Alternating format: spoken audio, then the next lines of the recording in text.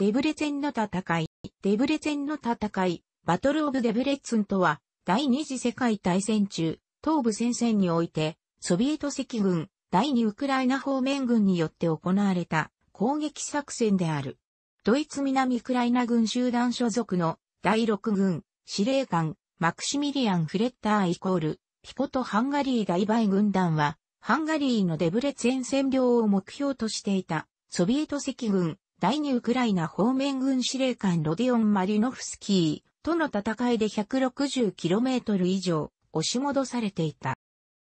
1944年8月中旬、ドイツ南ウクライナ軍集団、司令官、ヨハネス・フリースナーは崩壊の危機に瀕しており、その北側を担当していたドイツ中央軍集団は、ソビエト赤軍のバグラチオン作戦デスで崩壊していた。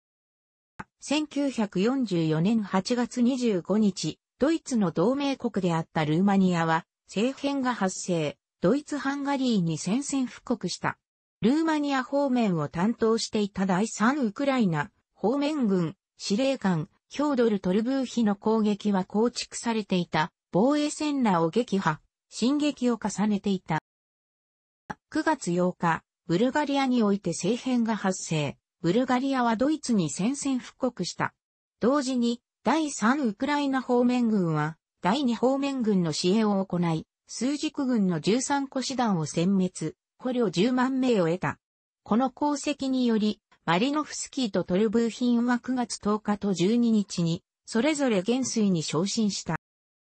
ブルガリア、ルーマニアにおける戦闘により、南ウクライナ軍集団に 650km の隙間を空けることとなり、フリースナーが必死に防衛線を再構築している間、ハンガリー摂政ホルティ・ミクローシュが、ソビエト連邦と個別で休戦交渉を行っているという知らせがベルリンに届いていた。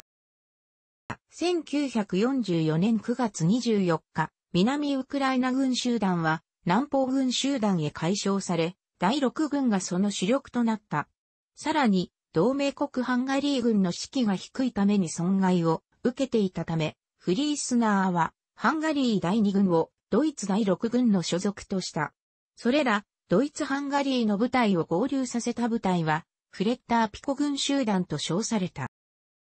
トルブーヒンがルーマニア国内での抵抗を一掃したため、マリノフスキーは軍をハンガリーへ向かわせ始めた。フリースナーにとってありがたいことに、第二ウクライナ方面軍の単独での進撃は途中から鈍り始めていたが、このためにフリースナーはムレシュ川に脆弱ではあるが、防衛線を構築するのに十分な時間を稼ぐことができた。1944年9月初旬、マリノフスキーはクルージュイコールナポカに進撃するようソビエト赤軍最高司令部に命令された。マリノフスキーはミシコルツ、デブレツェン、ティサ川方面へ進撃、その後、ハンガリー大平原へ進むことになっていた。一度、平原に進出したならば、マリノフスキーは配下の装甲部隊を用いて圧倒的な攻撃を行うことが可能であった。そして、ドイツ南方軍集団を撃破してしまえば、ブダペストを突破してスロバキアまで進撃することが可能であったが、ソビエト赤軍は、ヤッシーイコール騎士ニョフ構成、ベオグラード攻撃作戦などで戦力を弱めており、なおかつルーマニアの鉄道機関が異なるため、補給上の大きな困難とも戦わなければなかった。フリースナーは、ソビエト赤軍、第2ウクライナ方面軍及び第4ウクライナ方面軍に包囲されることを恐れ、相当大本営へ飛んで向かった。フリースナーは、ティサ川の沿った防衛線に部隊を撤退する許可を、相当から得ようとした。フリースナーは、この撤退が、ソビエト赤軍による継続的な攻撃に対処し、若干の自由な活動が可能となると主張した。ヒトラーは、提案を拒絶したが、フリースナーのもとに増援を送ることを約束、さらに攻撃を行うよう命令した。この攻撃の狙いは、マリノフスキー配下の2個軍の撃破することであった。フリースナーは実行可能な防衛作戦を行いたかったが、結局、ソビエト赤軍、第27軍、第6新鋭戦車軍を撃破するよう命令されていた。その上、フリースナーはカルバチア南部の重要な峠を取り戻し、第二ウクライナ方面軍を分断することを目的として、クルージュからの攻撃を命令された。1944年9月14日、第2ウクライナ方面軍は、第3ウクライナ方面軍と共に、ベオクラード攻勢を開始した。しかし、フリースナーが作戦のために部隊を集中させていたため、第2ウクライナ方面軍はこれに遭遇、激しい抵抗を受けた。結果の伴わない1週間の攻撃の後、一旦攻撃を中止させたマリノフスキーは、後の攻撃に使用する予定であった予備戦力、消耗していた第6新鋭戦車軍に、機械化騎兵集団、司令官、イッサプリーエフ、第7機械化軍団、第4新鋭騎兵軍団、第6新鋭軍団が含まれ戦車、突撃砲289両が、所属と、騎兵戦車集団、第5新鋭戦車司令官、セルゲイ・リーチ・ゴルシコフ、サーゲイ・エレアッチ・ゴーシュコーブが、兼任、第23戦車軍団が所属、戦車、突撃砲146両が所属を伴わせてオラデア近辺での攻撃を命令した。1944年9月20日、ルーマニア軍はルーマニア・ハンガリー国境の町、アラドを占領した。この行動は、ハンガリー参謀本部を混乱に陥れ、新兵と予備兵で構成されていた、ハンガリー第三軍を変することとなったが、これは限定的な戦力を持つに過ぎなかった。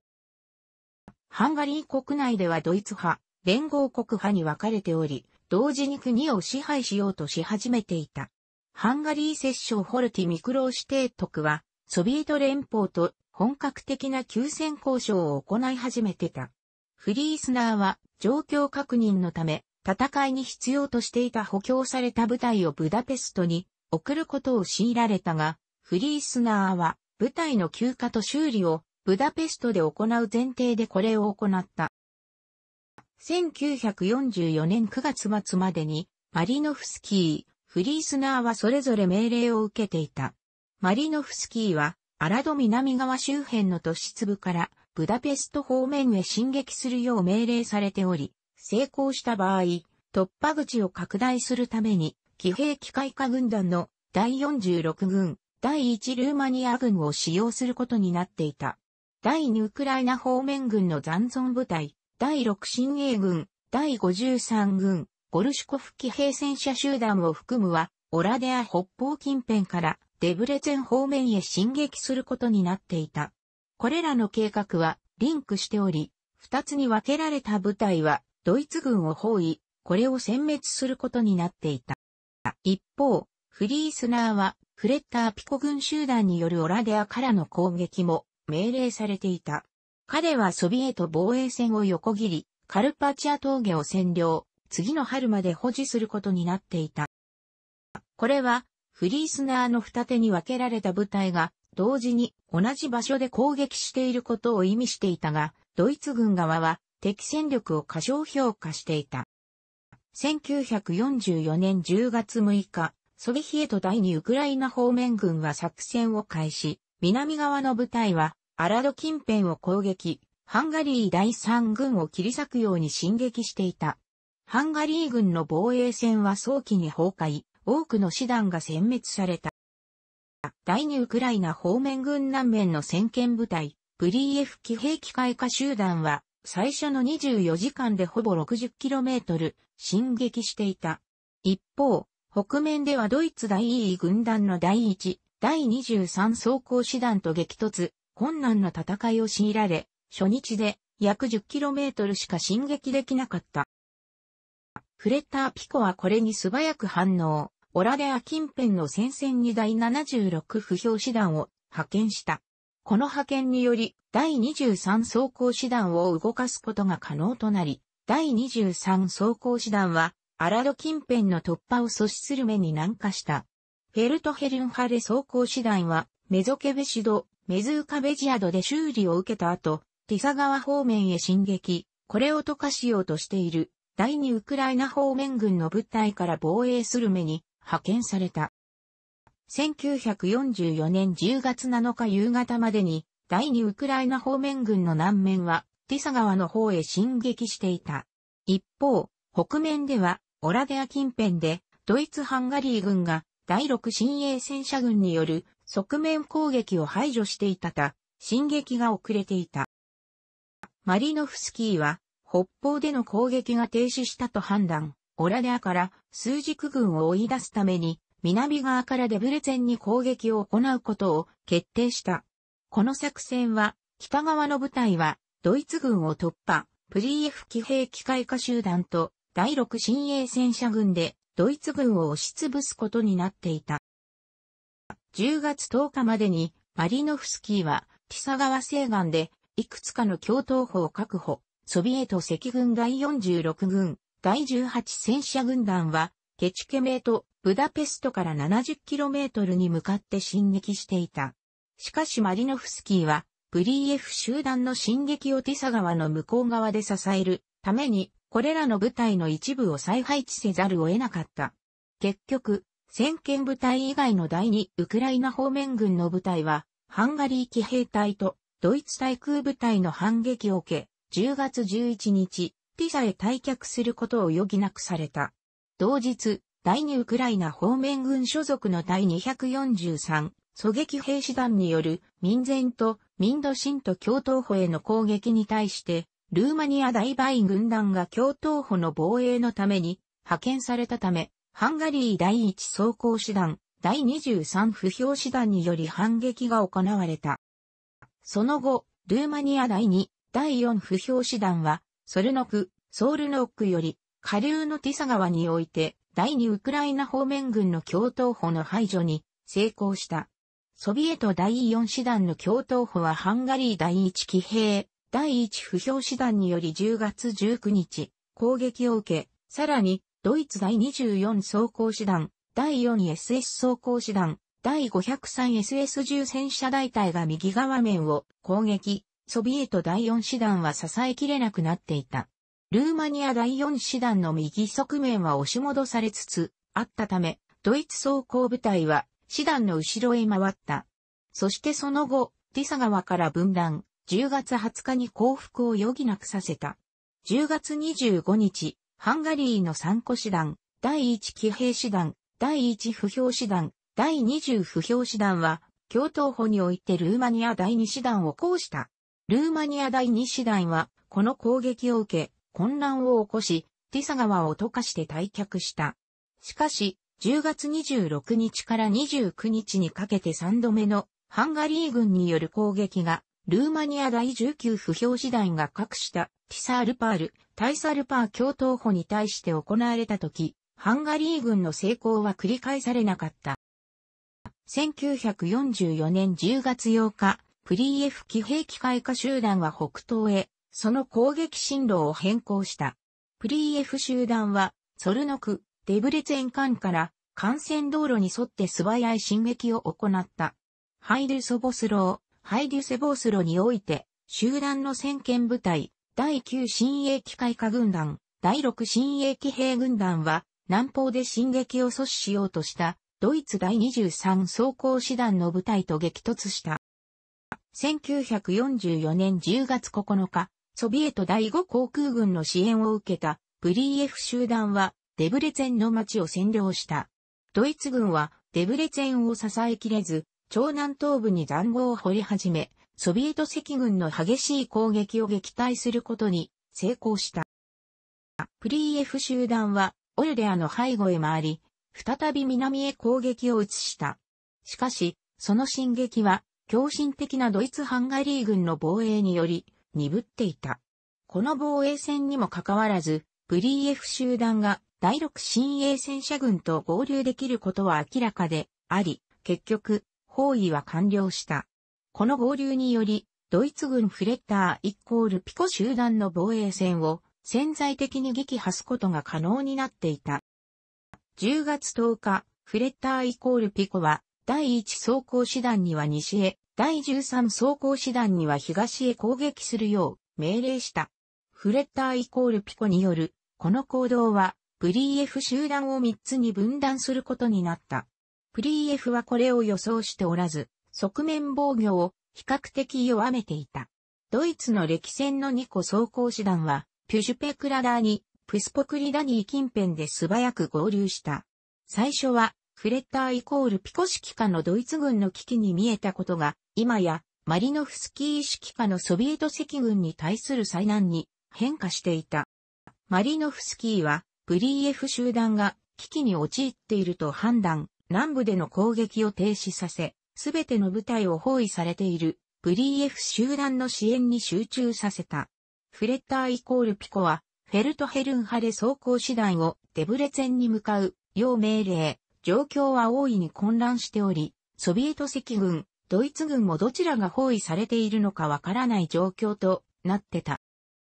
1944年10月11日、プリーエフ集団の第4新鋭騎兵軍団はデブレツェン周辺部に到着した。この軍団は主力部隊から切り離されたが、ブリーエフは何とか包囲から脱出することに成功した。歴史家 RFG ムキーによれば、第6新鋭戦車軍による猛烈な攻撃により、戦争で最も野生的な戦車戦の一つと表現されたほど、オラデア近辺の最前線は着実に押し戻されていた。10月12日までにブリーエフ集団は約200両の装甲戦闘車両を失っていた。1944年10月14日までにマリノフスキー指揮下の部隊は最終的にオラデアまで進出、ドイツ軍防衛線は 14km 押し戻された。北では新たな脅威がフレッターイコールピコを脅かしていた。そして第4ウクライナ方面軍はついにオットー・ベーラー率いるドイツ第8軍への攻撃を開始した。第8軍はソビエト赤軍の猛攻撃の圧力により崩壊寸前に陥った。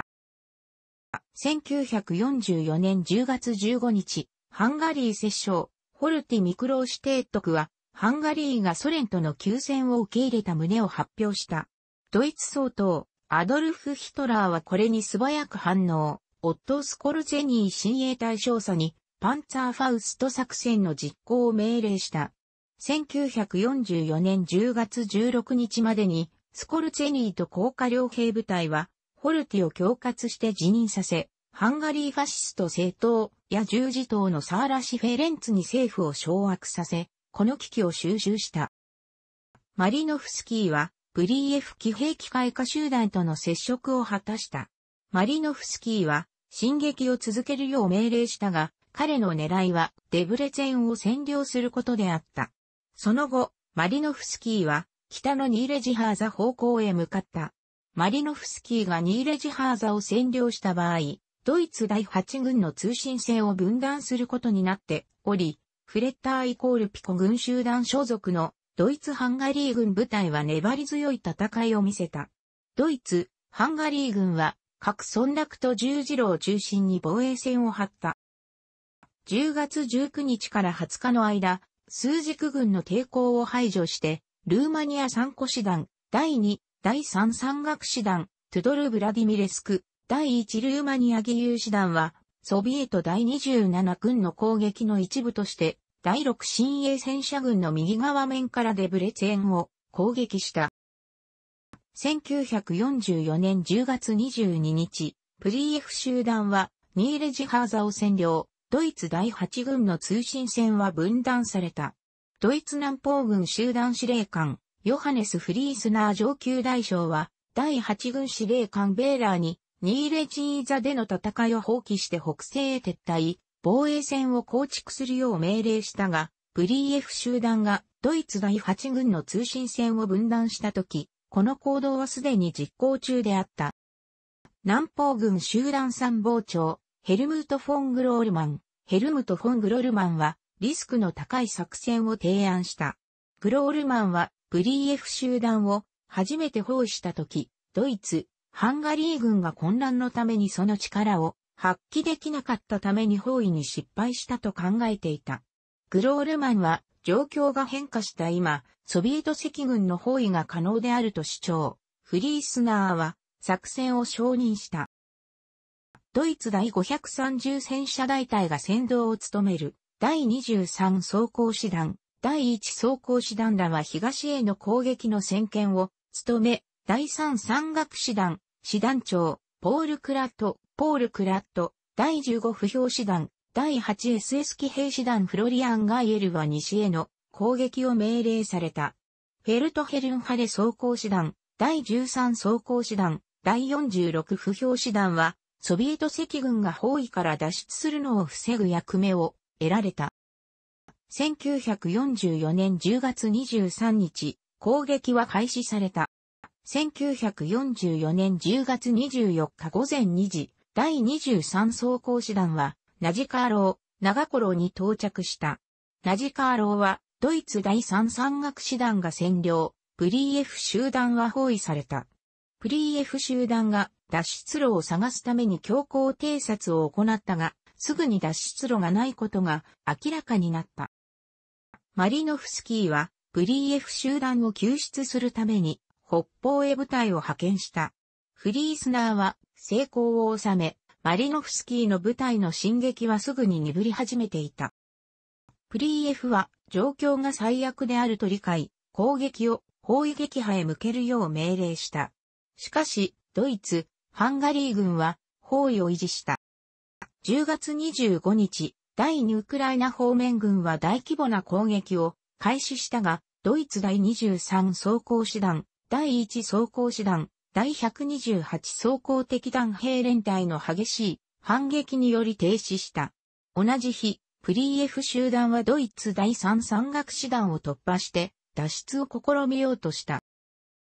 10月26日、第23装甲師団は、ニーレジハーザを再占領した。ソビエト赤軍部隊は、ニーレジハーザを占領の間に、民間人に対し、大規模な略奪、強姦、殺人を含む、広範囲な残虐行為を犯していた。この行為は、ドイツ軍、特にハンガリー軍の決心を固くすることとなった。マリノフスキーが再度攻撃を開始したとき、これまでにない激しい反撃を受けることとなった。一方、ドイツ第8軍は、ニーレジハーザで確保した撤退路を使用して撤退し始めていた。28日、ドイツ第8軍は包囲から脱出したが、ブリーエフ集団の包囲は未だに続いていた。第2ウクライナ方面軍所属の参考軍団は重大な損害を受けていた。ニーレジハーザでの反撃は、ドイツ軍がソビエト赤軍を殲滅した最後の戦いとなった。第二ウクライナ方面軍の攻撃における突破を行う部隊を抑え込むことにより、ドイツ軍は安定した戦線を再構築することが可能となり、第二ウクライナ方面軍の進撃がドイツ第八軍の崩壊につながことを防いだ。ニーレジハーザは10月30日、ドイツ軍がソビエト赤軍より取り戻したが、ドイツ軍の成功は短く、1944年11月4日、ハンガリー首都ブダペスト方面の南へ強力な攻撃が向かいつつあった。第2ウクライナ方面軍がハンガリー首都を迅速に占領するのを阻止される間、デブレツェンでの作戦は、ハンガリーの西60から120マイルの距離で、ソビエト赤軍が進撃していた。そして第2ウクライナ方面軍、第3ウクライナ方面軍がブダペストへの新たな攻撃を行うことを可能なままにしていた。デブレツェンでの戦車戦は、ドイツ装甲部隊をブダペストへの進撃路を防衛すことから引き離す結果となった。最終的には、ソビエト赤軍の攻撃は、ファガラシュ山脈、フォガーラスにおける障害をと除いて、数軸軍による冬季防衛陣地の使用不可能とし、ハンガリーの東3分の1を占領した。楽しくご覧になりましたら、購読と良いです。クリックしてください。